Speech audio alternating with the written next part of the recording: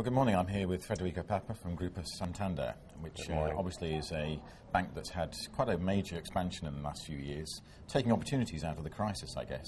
What is the current landscape, and how do you see Santander's operations in that landscape? Well, uh, thank you, Chris, for uh, for having me. And uh, you're absolutely right. It's it's it's been a uh, opportunity for us in terms of what we can do to better serve our clients, and that's really been the driver for us, which is how do we best serve our clients in in the new environment.